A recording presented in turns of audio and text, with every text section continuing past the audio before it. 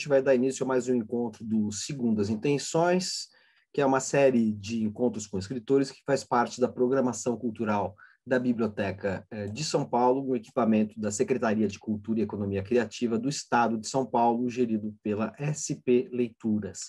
Essa série, segundo as intenções, acontece alternadamente eh, na Biblioteca de São Paulo e na Biblioteca Parque Vila Lobos, e agora, durante o período da pandemia, a gente tem realizado os encontros remotamente. Em geral, a gente faz os encontros sábados de manhã, sábados das 11 às 13 horas, nas respectivas bibliotecas, e agora a gente faz pelo Facebook, hoje no Facebook da Biblioteca de São Paulo. É, eu, antes de é, pedir que a nossa é, convidada de hoje abra a sua câmera e se apresente, eu vou só aproveitar para dizer quais são os próximos encontros, rapidamente, no dia 24 de maio, segundo as intenções, vai acontecer no Facebook da Biblioteca é, Parque Vila Lobos com o escritor Marçal Aquino, então dia 24 do 5, Marçal Aquino na Biblioteca do Parque Vila Lobos, no dia 14 de junho, é, o Segundo as Intenções acontece no Facebook da Biblioteca de São Paulo, esse Facebook aqui, com é, o psicanalista e ensaísta Christian Dunker.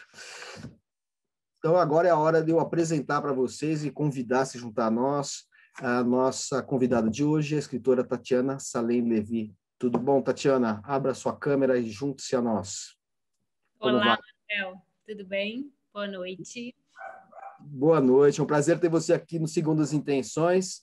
E eu tenho dito aqui nesse, nessa fase pandêmica do Segundas Intenções que a única vantagem que a gente tirou desse período terrível que a gente está passando no Brasil e em todos os lugares é que a gente pode entrevistar os autores que dificilmente estariam presentes aqui na Biblioteca de São Paulo ou da, do Parque Vila Lobos, porque às vezes não moram, em São, não moram em São Paulo e às vezes não moram nem no Brasil, que é o seu caso. Né? Você é uma escritora brasileira que vive há oito anos em Lisboa, certo? Exatamente. Moro em Lisboa há oito anos.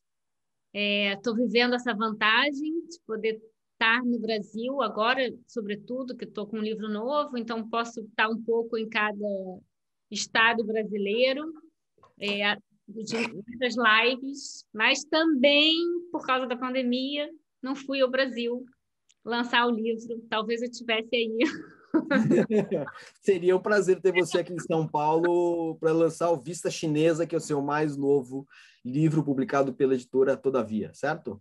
Certo, exatamente. Perfeito. Bom, aqui no Segundo as Intenções, Tatiana, a gente faz um, um passeio pela obra e vida e obra do escritor. Em uma hora não dá para falar muito, mas então a gente tem que ser meio sintético. Mas é, nos interessa conhecer um pouco da sua trajetória, como você se tornou escritora, como é que foi a sua formação e, no seu caso, até como você foi morar em Portugal e por quê, o que, que você tem feito aí. Vamos começar do começo, então. Você nasce... Onde você nasceu?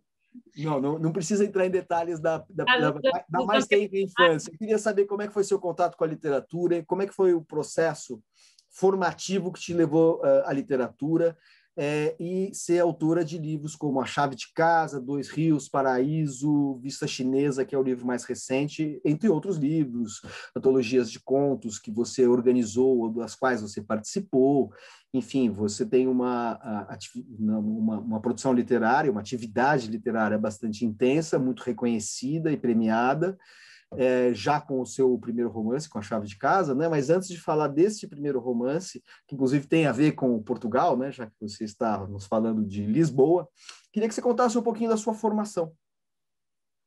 Então, é, eu cresci numa casa já com numa casa rodeada de livros, né? Então, uma casa que tinha uma biblioteca. Então, eu tive essa sorte que eu sei que é, num país como num país como o Brasil é de fato uma sorte ter tantos livros como eu tinha em casa. Eu sou filha de professor, meu pai é agora aposentado, mas era professor de filosofia na universidade. A minha mãe era jornalista. É, então eu, eu cresci um livro como fazendo parte da, do nosso cotidiano, assim. Então, ela, a literatura entrou na minha vida de forma muito, muito natural, assim, desde sempre, é, desde muito pequena, sempre gostei de fazer livros, aquela coisa que eu faço hoje em dia com os meus filhos, de é, dobrar folha e fazer desenhos e escrever histórias. E eu, eu lembro muito do meu processo de alfabetização, É, eu era uma criança que gostava muito de escola, ao contrário da maioria da, das crianças, eu assim, eu, eu botava despertador para acordar os meus pais. Era assim, era desse uhum. nível. para ir para a escola, ficava nervosa se chegasse atrasada. É, eu sempre gostei muito desse lugar de aluna, assim, de, de aprender com os professores. Eu tenho uma uma admiração, que é uma coisa de paixão mesmo, eu acho, uma coisa de eros no sentido erótico, no sentido de, de um amor, de uma paixão mesmo pelo saber. E então esse, essa minha paixão pelo estudo foi me levando para para o mundo literário, né, para a literatura, para os livros. E na adolescência é, eu era extremamente tímida. É, e aí vem aquele, aquele momento todo, como todo mundo tem aqueles questionamentos todos, e eu descobri na literatura uma forma de, de, de complicar as minhas perguntas. Eu acho que eu sou uma pessoa que gosta muito de complicar as perguntas, desde muito cedo isso. Então, é, tudo que é uma questão para mim, em vez de de eu procurar uma solução, eu gosto de complicar. E a literatura, acho que foi uma forma de ir complicando, porque um livro vai levando para outro livro, que vai levando para outro livro, e é uma, é, uma, é uma rede, né? Que quando você acha que você vai encontrar uma resposta, você encontra outra pergunta. E então eu encontrei na literatura uma, uma espécie de, eu acho que uma espécie de amizade, poderia dizer, assim, de, de companheira muito cedo. Fala, quer falar? Você essa formação que, é, é, você teve, essa, essa, esse acesso a essa familiaridade com a literatura e com os livros que você teve por causa da formação dos seus pais, entre outras coisas, isso se deu no Rio de Janeiro? Isso se deu no Rio de Janeiro. Eu, Agora, você não nasceu no Rio, né? É, não, eu nasci aqui, em Lisboa, porque os meus pais eh, estavam exilados durante a, a ditadura militar, eram exilados políticos aqui, e uh, nasci em janeiro de 79, a anistia foi em setembro de 79, então voltamos em setembro.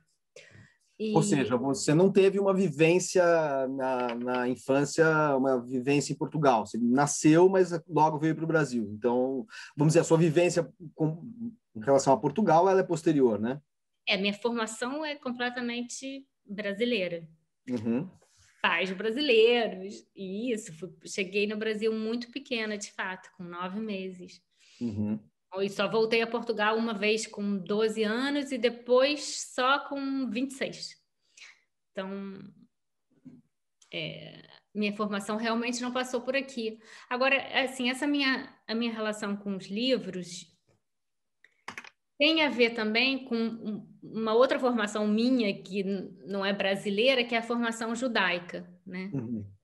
Que sou de família, sou de família judia, mas de família judia ateia, é, mas muito baseada nessa ideia do, do livro, da ideia do livro, né? Do o povo do livro. Uhum. A, a ideia de como o povo judeu foi expulso muitas vezes, e a minha família foi expulsa séculos atrás de Portugal, na Inquisição, e isso foi transmitido de fato de geração em geração, tem, enfim, tem coisas que chegaram de séculos atrás até o meu avô, por exemplo. É, e, e de, de, Portugal foram para a Turquia, e depois foram primeiro para a Holanda, da Holanda para a Turquia, da Turquia para o Brasil. Então, essa série de expulsões que é característica do, do povo judeu, né, que não, não tinha pátria, é, também definiu um pouco essa ideia de que é, tudo que é material fica para trás quando a gente é quando a gente é expulso, quando a gente tem que mudar. Mas o saber não, o saber vai com a gente para qualquer lugar. Então isso isso foi fundamental. Na minha casa isso era um valor primordial, assim. É, também tem o aspecto de que o judaísmo é uma religião fundamentalmente ética, né? Ela, dizer, o, o lado não tem um lado místico como tem. Claro que existe um misticismo. É, também tem. Também tem, mas assim, é muito, ela é uma religião muito mais das religiões reveladas, vamos dizer assim, né? O, o, o judaísmo, é, o cristianismo e o, e o, islamismo, a mais racional e mais preocupada com questões éticas é, é, o, é o judaísmo. O judeu discute com Deus, né? É. O judeu contesta a Deus, o Deus, é. o Deus, também o Deus judaico é um pouquinho mais um pouquinho menos amoroso que o Deus cristão, né? Vamos dizer que o Deus do Antigo Testamento não é exatamente camarada com os judeus, né? Ele é mais impiedoso. Depois ele fica mais velho, o coração fica mole, né? Ele fica mais, enfim, uma, a, a, a, mas assim, essa eu já vi muitas é, inclusive apresentação, apresentações de humoristas ju, é, judeus que reproduzem muito essa ideia do judeu fazendo cobranças assim para os céus, né? Cobrando as omissões divinas. Então, Deus, a, a, religião judaica tem uma coisa racional da discussão também, e o livro e o livro entra nesse contexto, né? O é. livro é uma base para para esse diálogo, né? O diálogo já está meio dado, né? Eu acho que isso também é muito presente. É intelectualizada, né? É uma religião intelectualizada. Bom, já que você falou das suas origens, uh, esses périplos aí, êxodos familiares, uh, Portugal, uh, Holanda, Turquia, Brasil, isso está na gênese do seu romance A Chave de Casa. Eu queria que você contasse um pouco para o nosso para o nosso público, para as pessoas que nos assistem aqui, a quem eu agradeço a atenção, contar um pouco do enredo deste, deste livro, que recapitula um pouco, de maneira, de maneira ficcional, mas com muita presença da sua, da sua história familiar e pessoal, recapitula essa história também, né? E, e gostaria de saber que você contasse um pouco como é que é o, o dispositivo narrativo, quais são as, a, a, a, as linhas narrativas do enredo desse livro, para a gente conversar um pouquinho sobre o seu processo a partir dessa história que você acaba de nos relatar. Então, na, é, na tradição desses judeus que foram expulsos de Portugal, eles é, não de, de fato eles levaram as chaves das suas casas de Portugal quando foram expulsos com a Inquisição e passaram essa chave de geração em geração na esperança de voltar um dia para Portugal. E eu sempre ouvi essa história, eu cresci ouvindo essa história. Na verdade, desde, desde sempre. Eu não consigo me lembrar o momento em que isso foi revelado, porque isso era uma coisa natural na minha casa. E, de fato, essa chave chegou até a geração do, dos meus avós. Depois se perdeu. Parece que se perdeu num incêndio, essas coisas que a gente nunca vai saber exatamente. Uhum. Mas não é uma história só da minha família, é uma história comum uhum. é, a esses judeus. E quando eu comecei a escrever, então pensei, bom, essa, essa história realmente é uma história, dá um romance, né? Uhum. E, só que eu também não sou muito uma escritora de romances históricos, de tão lá atrás na Inquisição. Eu me interesso mais pela memória do que pela história propriamente dita. Ou seja, por aquilo que vai, que seria chave, num certo sentido, mas num sentido simbólico, né? Daquilo que atravessa as gerações e que chega, o que, que teria chegado na minha geração dessa dessa família que foi expulsa tanto tempo depois, né? Uhum. no romance eu transponho essa chave para a Turquia. Então a história do romance é uma é uma protagonista que narra a história, né? Narra quase toda a história em primeira pessoa. Ela está paralisada numa cama e está em busca de um, de um sentido para aquela, aquela paralisia, para aquele corpo que está cheio de dores e que não consegue se levantar da cama. Então, ela recebe do avô a chave da casa dele na Turquia e decide fazer essa viagem de volta em busca da casa. É, então, esse é um, esse é um dos. É um, um romance que tem diferentes narrativas que se entrecruzam.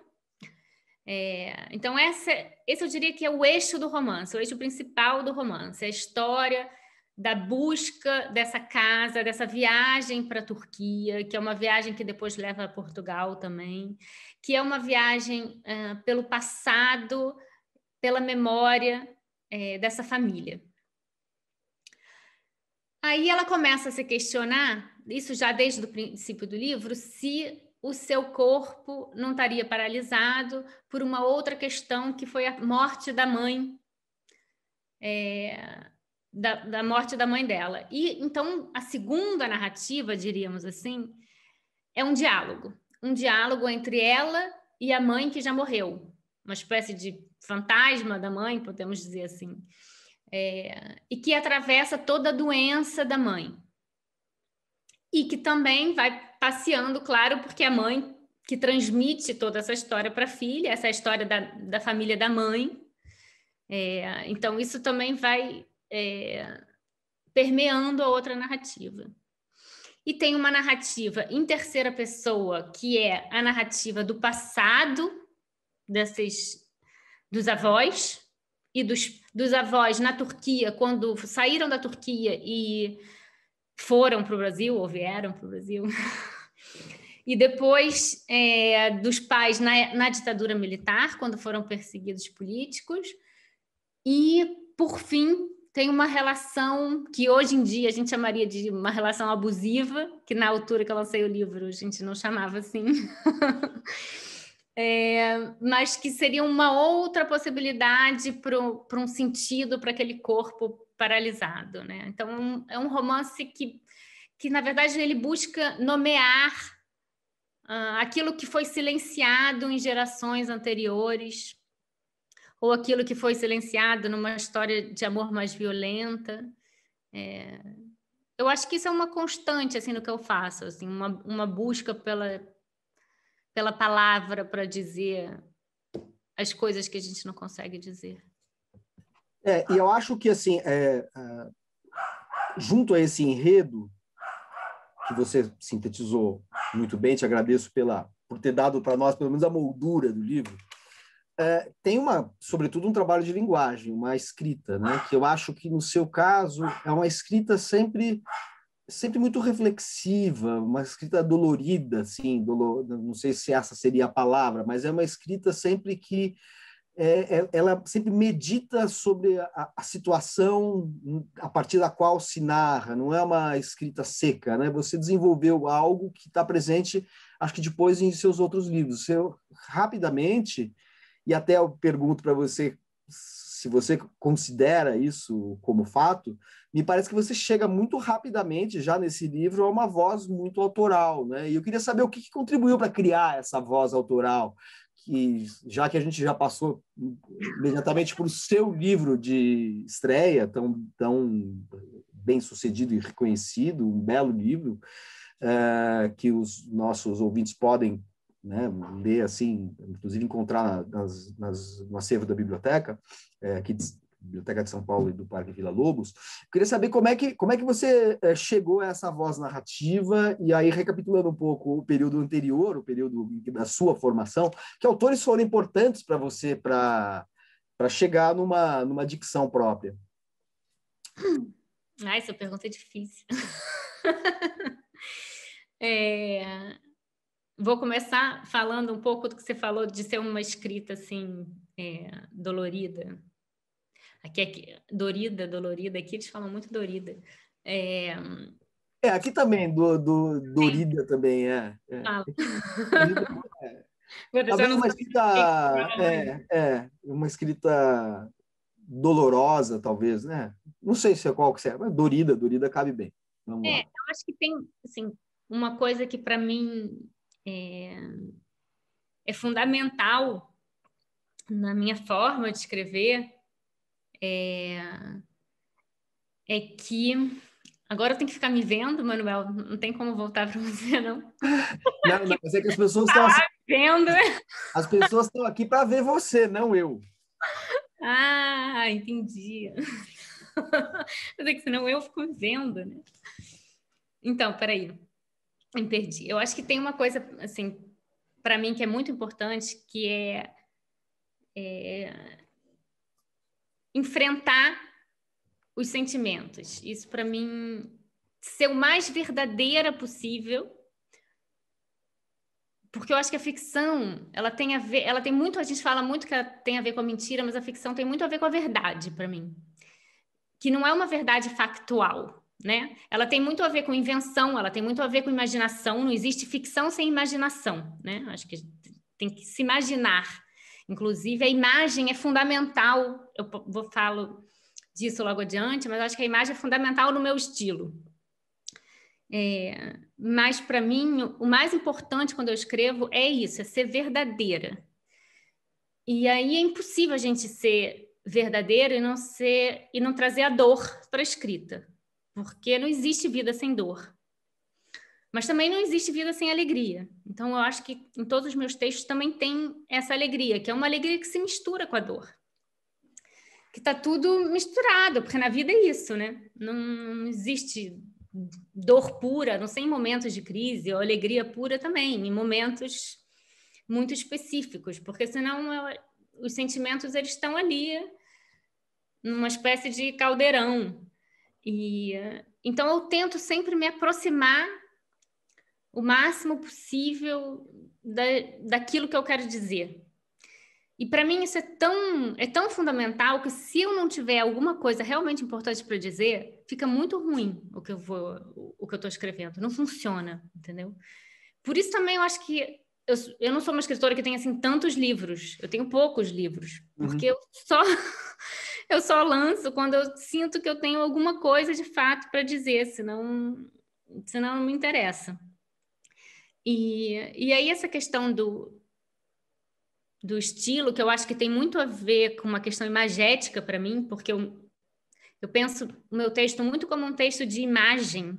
Você falou reflexivo, ele é reflexivo também, mas para mim ele é sobretudo. E aí eu falaria, por exemplo, na Virginia Woolf, como uma das autoras fundamentais para mim, ela tem essa ideia de cena, que ela fala em textos dela mais é, teóricos, memorialísticos, e, e, que ela trabalha com essa ideia da visualização, só que ela é muito mais detalhista, muito mais descritiva, outra época, etc. Então a gente está numa época mais fragmentada, então que a imagem é mais cortada, a minha narrativa tem isso, né, de ser, de ser mais entrecortada. Mas tem essa ideia das cenas, né? Eu, eu narro cenas, então eu também não sou muito explicativa naquilo. Eu tento mostrar. Eu acho que é uma literatura que tenta mostrar aquilo que ela quer dizer, né? Mostrar com palavras, obviamente, mostrar com palavras. É, quando eu falei de reflexivo, talvez eu não estivesse falando, não estava pensando num aspecto abstrato, argumentativo que, que existe em muitos romances, existe uhum. isso, né? vários romancistas que é, é, trabalham isso muito bem. Eu estava pensando numa, na verdade, é uma reflexão sobre a situação vivida, quer dizer, é, para você, claro, você tem uma série de cenas e, e circunstâncias que você narra, é, mas você você não deixa passar a coisa em geral. Por exemplo, é, o, tudo aquilo que é narrado tem uma espécie de rebatimento na, na voz narrativa que, que medita sobre aquilo, que, que sofre aquilo. É, uhum. que vivencia aquilo que está sendo narrado, né? A narrativa, a sensação que eu tenho, claro que não é o, todo, o tempo todo, porque a, a o, o, o, romance, a narrativa é uma máquina que precisa, ela anda, né? Então precisa de algumas cenas que não tenham essa dimensão. Mas as, as cenas mais marcantes, elas são sempre é, vi, vivenciadas, é como se tivesse uma suspensão, um retardamento do tempo narrativo para uhum. é, refletir sobre o impacto, assim, para transmitir a, a, voltagem emocional que aquela cena ou aquele, aquele, aquele, aquela circunstância tem. O reflexivo talvez não, não tenha sido uma palavra feliz, acho que é um pouco mais neste neste sentido.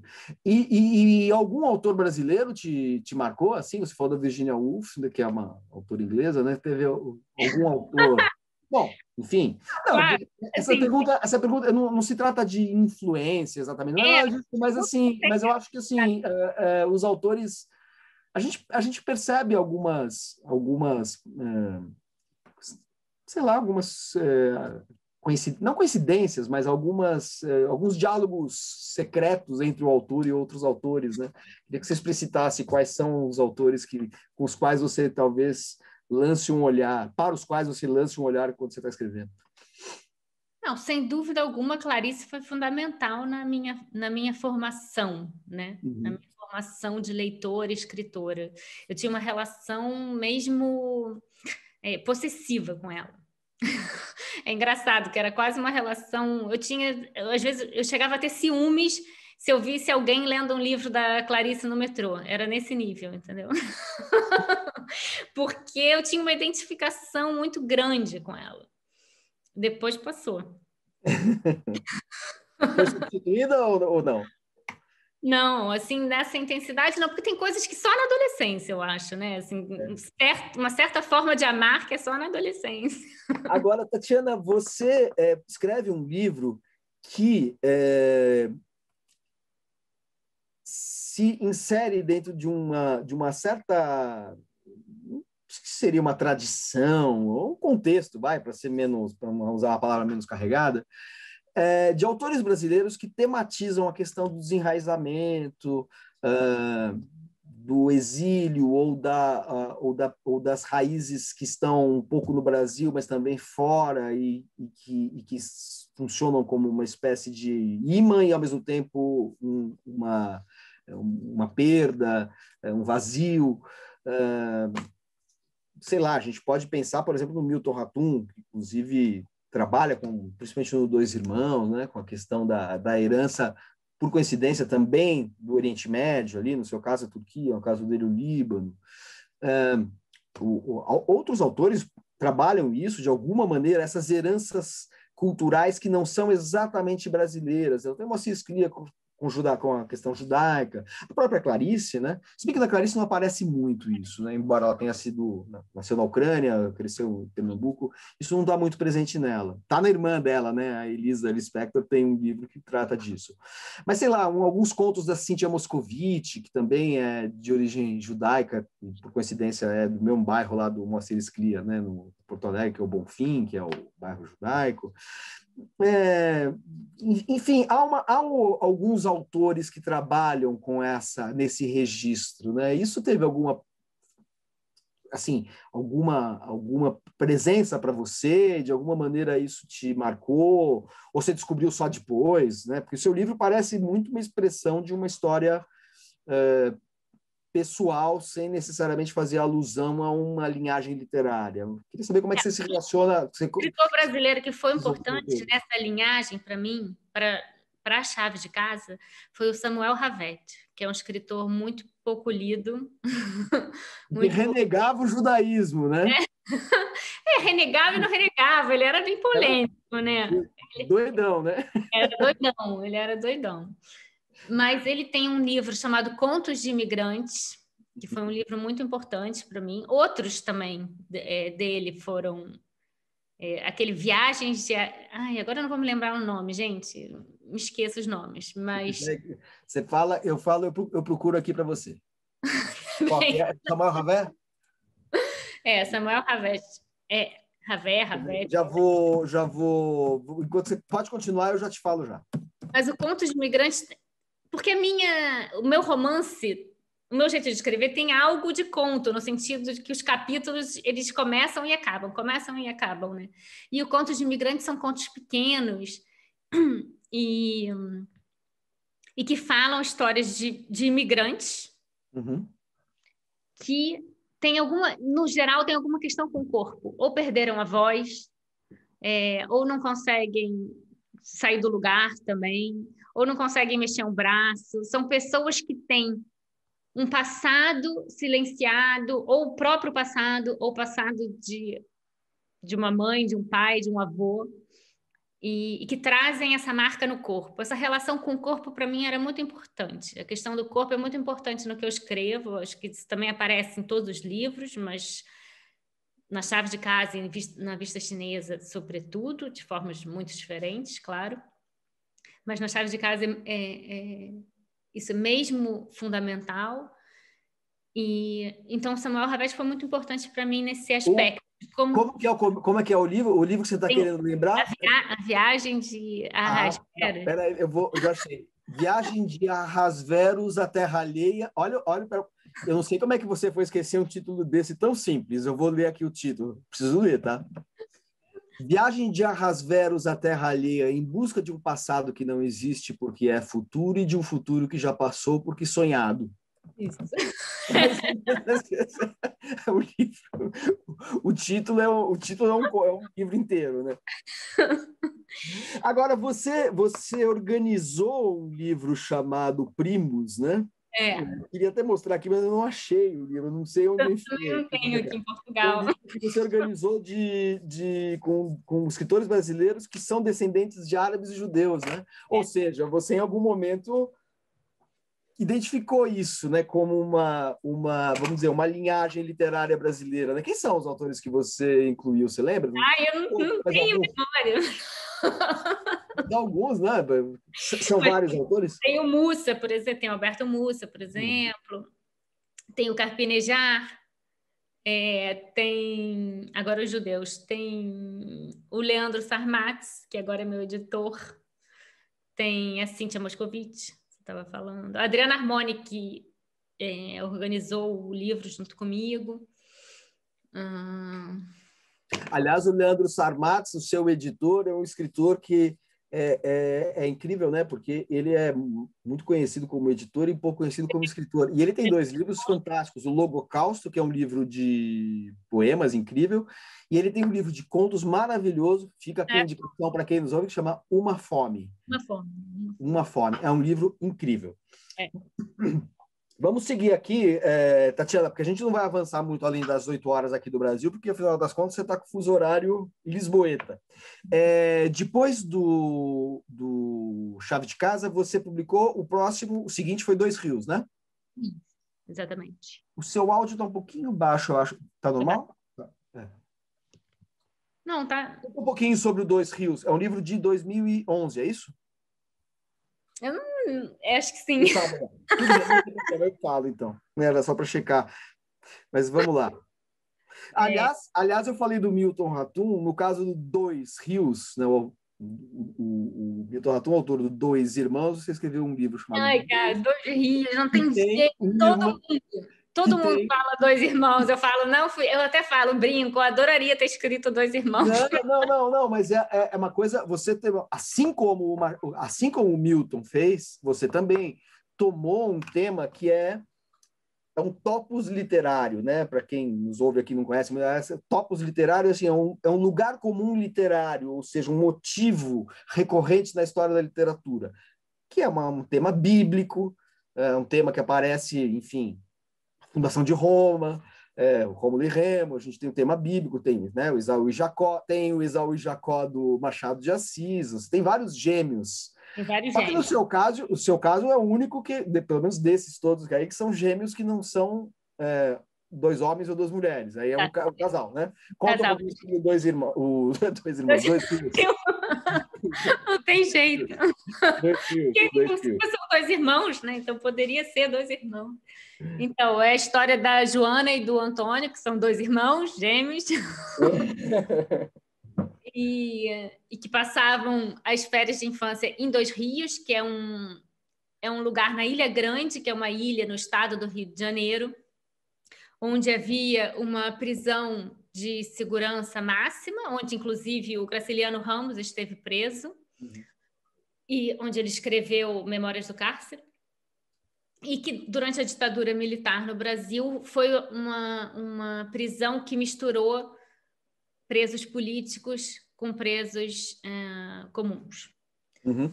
Então, eles passavam a infância nesse lugar, porque o avô era, era policial na, no presídio de Dois Rios, e acontecem coisas na infância deles e, e, eles eram muito, muito próximos. O pai, aí não vou ficar falando muita coisa, né? Porque tem esse negócio de spoiler hoje em dia, mas enfim, eles eram muito próximos e eles rompem, eles acabam rompendo e cada um vai vai para sua vida de formas completamente opostas, digamos assim. A Joana sempre muito presa à casa e a mãe dela que tem que tem toque é, TOC, que é transtorno obsessivo compulsivo, e sobre o qual estudei bastante na altura para fazer o livro, e o, e o Antônio, que se torna fotógrafo e vai viajar pelo mundo.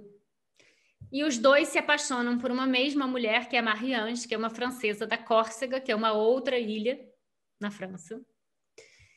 E cada o livro é dividido em duas partes. Na primeira parte, a Joana narra a história da infância e esse encontro com a Mariange.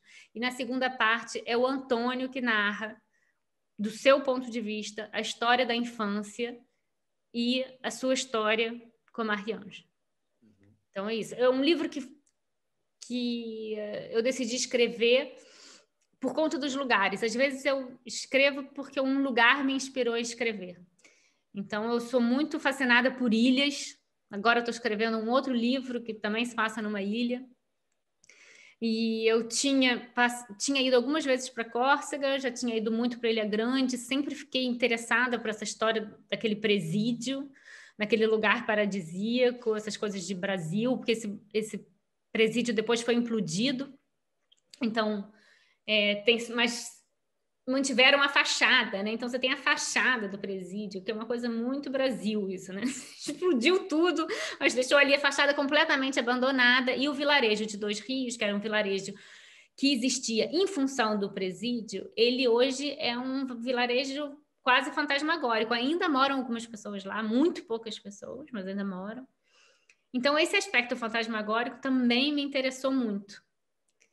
É, e a Córcega tem uma coisa religiosa, católica, mas que tem umas tradições mais antigas que remetem, de certa forma, a uma coisa meio mística, sabe? Que é essa coisa que a gente não está muito acostumada no catolicismo. E que aí aparecem, que tem uma coisa meio fantasmagórica também. Não, não é, tem nada, não é, é espiritista, não é história de fantasma, não é nada disso. Fantasma Fantasma porque os mortos que estão aí. É... Manuel, você está paralisado ou sou eu? Quem paralisou?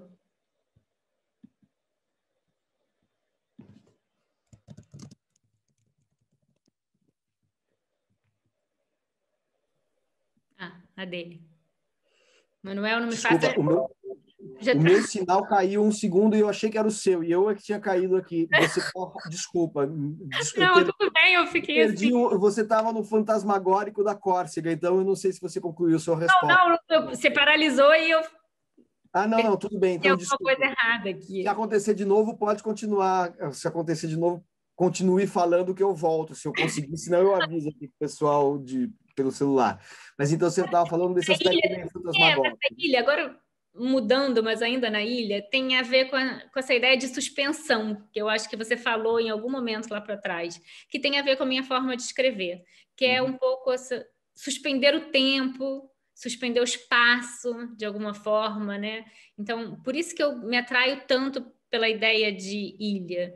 É uma das epígrafes, epígrafes inclusive, é de, do Quarteto de Alexandria, do Lawrence Durrell, e tem um momento no livro não é essa epígrafe, mas que ele fala que é um, é um costume na Alexandria, no Egito, é, quando se recebe hóspedes em casa, você desligar o relógio para parar o tempo. Né? Então, para mim, a literatura é isso, é uma forma de você desligar os ponteiros do relógio e suspender o tempo. Uhum. Agora, nesse livro Dois Fios, como é que a questão da, da, do regime militar volta a aparecer? Como é, no romance, mesmo na trama, que você quer dizer? No Dois Rios, é. é porque você, você é, quer dizer, é, é sua história pessoal está um pouco ligada a isso, porque você é. nasceu, porque seus Aí, pais ficaram aparece. É, aparece, aparece no casa, na, na chave de casa e também no Dois Rios aparece de alguma maneira, bom, até porque o presídio de, de Ilha Grande era foi usado pelo, pelo regime militar. Mas de que maneira ele aparece mais especificamente? E, e, e aparece o regime militar em outros livros seus? Aparece um pouquinho no Paraíso, mas hum, muito sutilmente. Uhum. Vista chinesa, não. E no caso do Dois Rios, como que aparece? Então, o... deixa eu tentar me lembrar, né? 2011, 10 anos atrás. Você tem que lembrar que eu não lembro, não, não releio o meu livro. Mas é, o pai dos gêmeos, o irmão, o, o irmão do pai dos gêmeos, tinha é, sido preso político é, em Dois Rios. E o avô materno dos gêmeos era policial em Dois Rios. E os pais dos gêmeos, da Joana e do Antônio, se conheceram numa dessas visitas. Então, eram famílias, na verdade, é, opostas nesse aspecto, né? Porque a família paterna era uma família de intelectuais de esquerda e que enfrentaram a ditadura e pronto, o tio tinha sido preso, etc. E a mãe vinha de uma família ali de Mangaratiba, que é perto da Ilha Grande, no, uma, uma cidadezinha pequena é, do litoral do, do litoral fluminense, filha de policial. E todos todos esses aspectos, essas contradições apareceram na relação dos dois e, e de certa forma, nesse transtorno obsessivo compulsivo da mãe. Uhum. A, a, história brasileira, é, embora não seja o cerne da sua ficção, ela está muito presente de diferentes maneiras. O regime militar é uma, um dos marcos, um dos acontecimentos que uh, aparecem uh, na sua obra. Agora, no caso do Paraíso, aparece uma outra marca, talvez mais profunda, uh, da vida brasileira, da história brasileira. Se você pudesse falar um pouquinho desse livro, 2014, esse mais recente, então você tem mais obrigação de lembrar. Mas aparece a questão. Logo de... depois. Eu gravidei uns meses depois de ter lançado. Então... Aí perdi toda a memória. É, esse livro. Vamos lá, vai. Esse livro surgiu uh, da história de, de uma história familiar de uma amiga minha que ouvia, tinha chegado até ela essa história de uma que eles tinham sido, sei lá, no século XIX, tinham tido fazenda de café, tinham sido barões de café, família super normal hoje em dia, mas lá no século XIX tinha sido família de barão de café e que tinha escravos, aquelas coisas de Brasil. E rezava a lenda que uma dessas escravas seria amante do patriarca, amante que a gente sabe que não é amante, né? Mas enfim, né? assim foi contada, assim foi contada a história, né? Que eu acho que isso também é importante é, para se pensar o Brasil, né? Que não é só como as coisas aconteceram, mas como as histórias são contadas, né? Hoje em dia ela talvez contasse essa história de outra forma. Uhum. E, e que a, a Sinhá, quando descobriu, é, mandou enterrar a escrava viva. E também reza a lenda que essa escrava ela era uma rainha de alguma tribo a, africana. E e antes de ser enterrada a, a escrava teria lançado uma maldição de que naquela família no, durante não sei quantas gerações as mulheres sofreriam com os homens sofreriam no amor é, então, assim chegou essa história para essa minha amiga. E aí, mais uma vez, é isso, não me interessa tanto a história, mas a memória. Como essas coisas que eu sou muito obcecada por essas coisas que passam de geração em geração. É, então, aquilo ficou muito na minha cabeça. Perguntei para ela: posso escrever sobre isso? e posso pegar emprestada, roubar a sua história? Que a gente fica roubando muitas histórias para escrever. Então, o livro surge, surge disso. E é uma escritora que, assim como eu, fica tentando escrever um, um romance histórico e se frustra o tempo todo, porque essa sou eu que, na verdade, tento. De vez em quando eu falo, não, agora eu vou conseguir fazer um, um romance com início, meio e fim, assim... Os meus romances têm início, meio e fim, mas estou falando de forma mais clássica, ou fazer um romance histórico, de vez em quando eu tenho esses ímpetos, é, como se eu, sei lá, enfim. E, e que não consegue fazer aquilo e que é atormentada por aquele fantasma, porque ela é a mulher dessa família, ela seria da última geração é, amaldiçoada, né? Então, é uma conversa com fantasma, com o fantasma dessa escrava, com os fantasmas da própria família. Depois, é, ela conhece um artista plástico que também tem os próprios fantasmas e está trabalhando com isso no seu, no, no seu trabalho artístico. É, eu acho que eu tenho a, a, epígrafe do romance, eu não tenho um romance aqui agora, mas a epígrafe do romance ela fala muito disso, assim, do, é, é, um escritor, é um poeta senegalês. É, mas essa ideia de que os fantasmas, de que os fantasmas não, de que os mortos estão conosco. Uhum. Então, eu acho que isso é muito importante no, no que eu escrevi até Paraíso. Agora, tem um dado importante que é o fato de que a a, a, protagonista ela vai para Paraíso é o nome de um sítio, nome né? do lugar, é isso. E ela vai para esse lugar porque ela está também numa situação de ah é verdade, de ansiedade, numa expectativa, né? É isso a gente pode dizer porque está na primeira página, mas ela acabou de ter uma é, de ter uma relação sexual com o cara assim no, depois de uma noite e no dia seguinte ele diz para não logo depois né já não me lembro dos detalhes mas enfim logo depois de transar ele diz para ela que tem AIDS. É, então todo esse medo dela que surge a partir daí e a, a espera né pelo resultado desse teste é, a espera por aqueles três meses que se tem que esperar para se fazer o teste. E aí é, é esse acontecimento que desencadeia é, essa conversa dela, esse diálogo dela com, com os mortos e com os uhum. fantasmas uhum. da sua própria vida. Acho que tem, uma, tem sempre um acontecimento, como no Dois Rios, tem a Mariange, que é esse ser que vem de fora e que desperta essa viagem subjetiva. Eu acho que tem sempre um encontro de fora, externo, que faz com que os personagens voltem para dentro. Agora, é, vamos chegar então, depois a gente pode continuar, mas só porque nós temos o nosso limite de tempo aí, também tem que respeitar seu horário é, aí em, Lisboa. É, você contou que o Paraíso, em parte, parte de uma, de uma história que uma amiga sua conhecia, ou era da família? Era da família dela, a história? Da família dela. É, assim, dessa essa maldição lançada maldição, por um... É. É. Só a maldição, mais nada. E a, e a, a, Vista Chinesa, que é o seu romance mais recente, também parte de uma história vivida por uma outra pessoa, né? Se você uhum. pudesse... Aí nós chegamos, então, no seu romance uh, mais recente, que foi lançado pela Todavia agora, né? Faz esse, nesse ano, né? Não, então, com essa história... Essa, dois meses no máximo. É, esse, esse livro também tem uma história, vamos dizer, você você se apropriou da história de outra pessoa aí, né, de uma outra de, de outra maneira, né? Como que é, é, o que é o vista chinesa? Aliás, explica o que é vista chinesa para quem não conhece o Rio.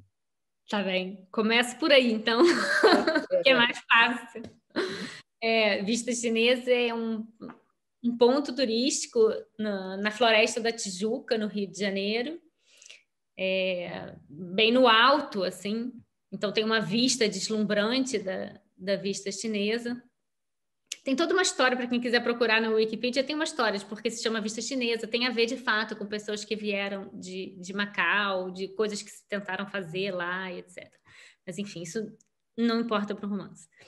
É... Em 2014, eu já morava em Portugal e a gente estava naquele. O Rio de Janeiro estava bombando, literalmente, porque era ano de Copa do Mundo, então era o Brasil inteiro, mas em 2016 haveria as Olimpíadas.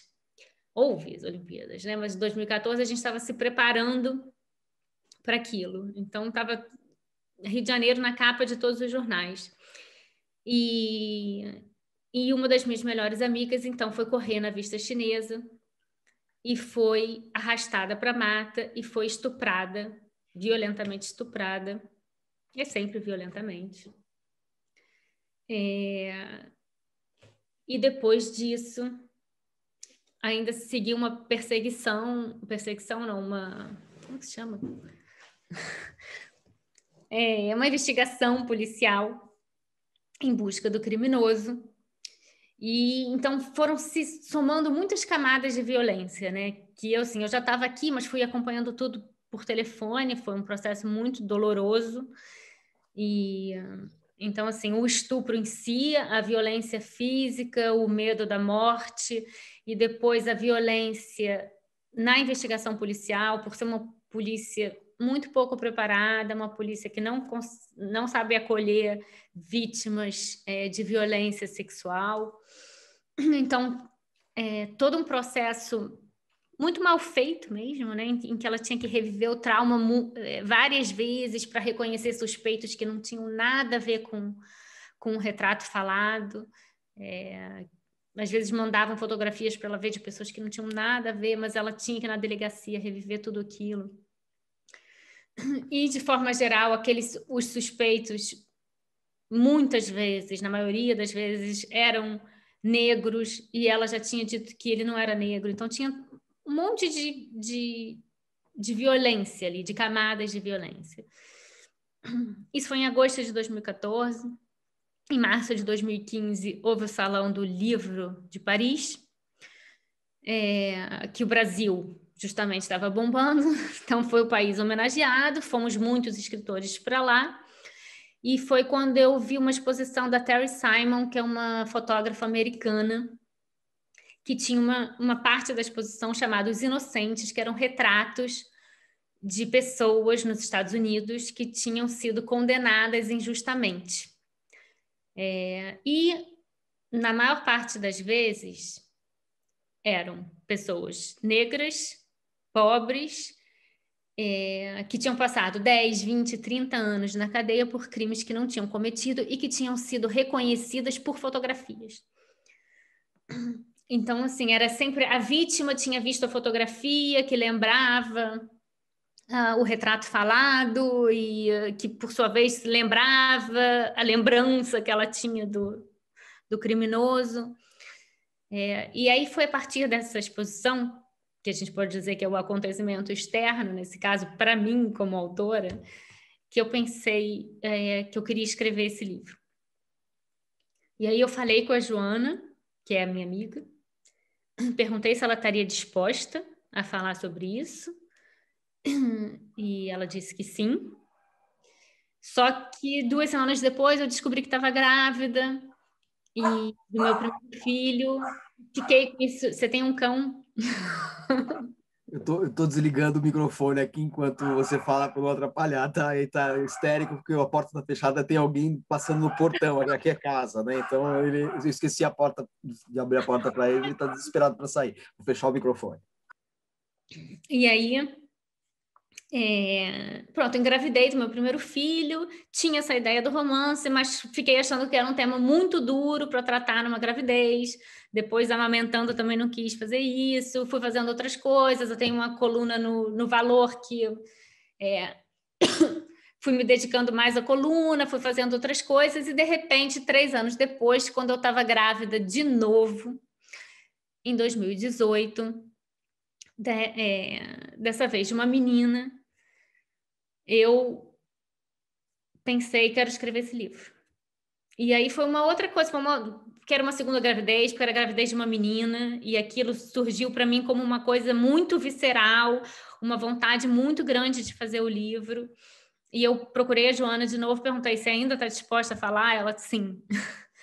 então começou uma série de eu comecei, fiz uma série de entrevistas com ela, em que ela me relatou o estupro como ela nunca tinha relatado para ninguém, nem na polícia, nem na, nem na análise, nem em lugar nenhum. Ela já tinha relatado isso de várias formas, quer dizer, já tinha contado isso, o, o estupro, mas não em tantos detalhes. Ela realmente foi muito detalhista. E a minha ideia inicial como escritora era justamente contornar o estupro, né? Falar tocando, uh, margeando o estupro, porque a gente sabe que às vezes quando a gente é muito explícito numa, numa cena de horror como essa, numa cena de, é, de muita violência, a gente pode cair numa coisa mais sensacionalista ou pode afastar o leitor. E eu não queria afastar o leitor, né? Então, pode dar uma lá, vontade de fechar o livro, embora não, não quero ver esse, esse horror, não, não preciso desse horror, né? Então, a minha ideia era aludir, era fazer com que o leitor imaginasse, que também acho que é muito o meu jeito de escrever, é, muito por elipse, né? Por mostrar, mas ao mesmo tempo deixar esse espaço para o leitor continuar. Mas aí eu me vi diante daqueles detalhes todos e pensei, eu não vou poder fugir desses detalhes. Então, para mim, como escritora, foi o meu maior desafio. Foi uma coisa assim que eu pensei, eu vou ter que encarar esses detalhes, eu vou ter que narrar o estupro, eu não posso não narrar, porque na verdade é isso que está aqui nela, entendeu? É isso que está preso, é isso que ela colocou para fora, e na verdade é isso que eu me dei conta de que aquele sofrimento não era um sofrimento de é, quatro anos antes, era um sofrimento de todos os dias, que aquilo se repetia nela todos os dias. Então, foi um pouco isso de enfrentar o monstro, que tem a ver com essa ideia da verdade que eu falei no início, em, em ser verdadeira. E aí, para ser verdadeira, é, a verdade do, do, daquele do que importava na, no que eu ia contar estava é, muito naqueles detalhes de como eu ia contar essa história, né? De como, de que palavras eu ia usar para narrar um episódio que normalmente a gente chama de indizível, de inominável, de inimaginável. É, a gente evita usar as palavras, né? Então eu pensei, não, meu desafio vai ser justamente dar nome às coisas, encontrar as palavras certas para contar esse terror que é ser estuprada e continuar, é, e continuar vivendo. E ao mesmo tempo é, a força que é que eu precisava junto com todo com toda essa violência mostrar também a força que é continuar vivendo que é a força da vida e a força dessa mulher que sobrevive a isso e que consegue momentos de alegria e que consegue outras coisas e que, e que consegue redescobrir o corpo e que consegue redescobrir a sexualidade então é um livro que também é, trabalha com esse pós-estupro, né? Então tem, enfim, tem uma, uma viagem ao México, tem uma redescoberta da sexualização que é, da sexualidade que para mim era muito importante como escritora e, e, a questão do corpo, da maternidade que aparece muito, a coisa do corpo da mulher é, nesse livro realmente uhum. eu acho que é o que mais quando você começou a escrever esse, esse livro, Vista Chinesa, Tatiana? 2018. Você começou a escrever o livro e ele sai no momento em que a gente tem um governo que tem uma política e uma postura em relação à mulher, à violência sexual, à violência doméstica, muito questionável, para não dizer abominável. Né? É, quando você escreveu, você imaginou o contexto em que você poderia lançar esse livro? Isso te passou pela cabeça? Que o livro seria este livro, com essa temática, com essa, esses dilemas, inclusive ficcionais que você enfrentou em termos de linguagem, de expressão, melhor dizendo, mais expressão do que de linguagem. É, você imaginou que esses problemas que você enfrentou de expressão encontrariam, uh, uh, seriam resolvidos, não resolvidos, mas eles se, se apresentariam num contexto em que os, o, o leitorado uh, estaria confrontado também com este esse universo que a gente está vivendo, de um retrocesso absurdo em relação a respeito à mulher, ao corpo da mulher, à autonomia da mulher, à violência doméstica, né, uma tolerância em relação a isso. Isso te passou pela cabeça? Já era algo que te é, assolava, assim? Era um fantasma que te assolava esse? Assim, na medida em que eu fui escrevendo, as coisas foram piorando no Brasil, né? Uhum. E no Rio de Janeiro mais ainda, então isso também foi entrando no livro. Então eu fui vendo, porque eu escrevi esse livro em 2018, 2019, era para ele ter saído no início de 2020. Então o que realmente mudou foi a pandemia, porque ele já estava pronto em janeiro de 2020, já era para ter saído e a gente adiou com a pandemia. Mas acho que há dois, porque há dois movimentos opostos, né? Que é essa barbarização do nosso Estado, da, da política, é, a, a, violência de gênero, a violência contra a mulher é um dos, dos aspectos, que tem muitos outros, mas, por outro lado, a gente tem aí desde 2013 muitos movimentos feministas é, a mulher tomando a palavra, as mulheres se colocando. Então, eu também sinto que, que de alguma forma, é, tinha uma força coletiva que fazia com que esse livro fosse possível dessa forma, assim, uhum. de, que esse livro ele talvez existisse de, anyway, de qualquer modo, mas é, acho que ele seria outro livro se não fossem todos esses movimentos coletivos das mulheres irem para a rua, é, uhum. das mulheres se colocarem e exigirem isso, tomarem a palavra como de outra, de um feminismo que é diferente, que é tão importante quanto, é, mas que mostra que ainda é necessário o feminismo. Então, eu acho que tem uma coisa coletiva, assim, que foi importante para o livro. O livro acabou de ser lançado, é muito recente. Já deu para, é, de alguma maneira, ter uma percepção da, de como ele foi recebido, até por pessoas que estão engajadas nessas, é, nessas, nesses protestos contra esse tipo de abuso ou, ou esse, essa atmosfera de violência contra a mulher? Já deu para perceber alguma coisa? Sim, já teve uma resposta? Eu, eu não participo de redes sociais, então eu queria saber é, é isso. Não, muita resposta. Desde que lançou, não tem um dia que eu não reposte alguma coisa. Todos os dias, todos os dias tem post de alguém, o livro já foi reimpresso, já é, tem outras coisas boas acontecendo com ele. E, e, de fato, todos os dias tem pelo menos, no mínimo, tem um post, mas na maioria dos dias tem mais de um post de leitores e fora as mensagens privadas que eu recebo também, é, de gente que eu conheço, gente que não conheço, de às vezes de vítimas. Uhum. Recebo de, é, mensagens de pessoas que foram estupradas e que contam e que resolvem contar. Às vezes tem gente que diz que nunca contou e que, e que ficou muito sensibilizada e que conta, porque a Joana, que é essa minha amiga, ela, ela apareceu, né? No livro, no final do livro, tem uma nota em que eu explico, em que eu conto que isso é baseado numa história real e digo de quem é essa história. Uhum. Então, eu acho que isso também deu uma certa força no sentido de algumas mulheres quererem falar sobre isso. Porque de todas as violências contra a mulher, o estupro é o grande tabu. Você fala de assédio, é, você, de uns anos para cá, passou a falar muito mais de violência, é, de violência doméstica, embora estupro também seja uma das formas de violência doméstica, né?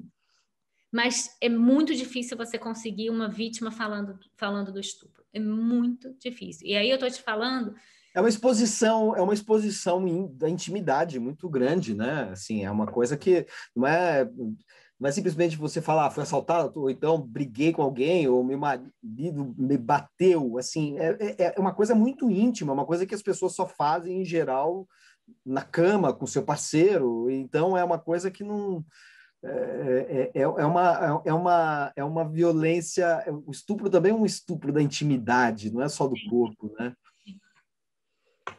É, de, é de tudo, né? É um estupro de tudo, na verdade. É do corpo, da vida, porque é para uhum. sempre, né? Então, mas eu acho que não é só por, pela questão da intimidade, eu acho que é por uma questão é, de culpa, a questão da culpa que está muito arraigada, né? O fato de que, é, de certa forma, porque a maioria dos estupros acontece em casa, né? Uhum. É, acontece com gente da família, ou com um vizinho, ou com, enfim. Esse tipo de estupro que eu conto no livro, que é um estupro por um desconhecido, ele acontece muito no Brasil, mas ele é mais raro do que o, estupro dentro de casa, né? Uhum. É, mas tem essa ideia de que tem uma culpa, que as pessoas sentem, a sociedade coloca uma culpa na mulher, pela roupa que ela estava vestindo, ou pelo lugar que ela estava na hora errada, ou por ter saído de madrugada sozinha, ou por estar com uma roupa justa demais, ou por ter falado assim ou assado com alguém, ou por não ter feito alguma coisa. É criminalizar a, a vítima, né? É criminalizar a vítima. Então, eu acho que tem. Também por isso não se fala, né? Porque a vítima tem medo de acharem que ela é culpada e não que ela é vítima. Então, acho também por isso, não, sobretudo por isso. Perfeito. Tatiana, conseguimos dar conta. Eu falei que era, de fato, é, era pouco tempo que a gente tinha, mas conseguimos falar de todos os seus livros. Quer dizer, tem outros livros que você fez, também tem um livro com Andrés Sandoval, né, que a gente acabou não mencionando. É, tem as antologias, que a gente mencionou só o Primos, e não dos, aquelas em que você participou, mas acho que foi uma bela panorâmica aí da sua, da sua literatura, dos livros que você publicou. É, eu queria é, só que você contasse para a gente como é que você foi morar em Portugal, como é que foi essa decisão de morar em Portugal para a gente finalizar. Você falou que está há oito anos aí, ou seja, é, você já teve dois filhos que são portugueses, portanto, né? São portugueses. Eles são pequenos, então você está oito anos aí, eles são pequenos. E queria saber como é que você foi para, como é que você foi parar em Portugal, retornando ao país do seu nascimento. É, então, eu, porque o meu marido é português. É, e eu tenho essa vida de escritora. Agora eu dou aula também na universidade, mas em 2013, quando eu vim para cá, é, eu era só escritora. Então, eu podia estar em qualquer lugar, era muito mais fácil eu vir para cá. Eu também sou portuguesa de nacionalidade, eu gost... sempre gostei muito daqui. Eu vim experimentar, passar seis meses, vendo o que dava. Aí fui ficando, ficando, ficando. E aí, a verdade é que eu tinha planos de voltar. Assim, para mim, nunca passou pela minha cabeça educar os meus filhos completamente em Portugal, sabe? Eu sempre isso sempre foi conversado aqui em casa e acordado aqui em casa que parte da infância das crianças seria no Brasil, só que para o Brasil de Bolsonaro não tem como ir, né? Não... não... e ainda e ainda por cima nós aqui somos obrigados de vez em quando a ligar a televisão e ver o Marcelo Rebelo de Souza, presidente de Portugal, que este homem culto, simpático, acolhedor, é, que conhece literatura, adora literatura, né? E, então, assim, e daí a gente olha e fala, o contraste é absurdo, né? Entre o que, entre o que acontece aí e o que acontece cá. Então, é. acho que por enquanto, enquanto Tem que existir Brasil para poder ir enquanto essa aberração estiver aqui na presidência, esperamos que ele que a gente consiga expulsá-lo antes de 2022, mas de 2022 não passa. Enquanto isso, fica aí em Portugal contemplando o incêndio à distância, né? Fazer o quê? É isso, é isso. Tatiana, muito obrigado pela sua participação aqui no Segundas Intenções. Eu queria uh, reforçar o convite para quem nos, nos acompanhou aqui é, e agradecer quem nos acompanhou, que nós temos no dia 24 de maio Segundas Intenções pelo Facebook da Biblioteca Parque Vila Lobos com o Marçal Aquino, que acaba de publicar também um novo romance, o Baixo Esplendor, e temos no dia 14 de junho um Segundas Intenções aqui no Facebook da Biblioteca de São Paulo com o psicanalista, ensaísta Christian Dunker.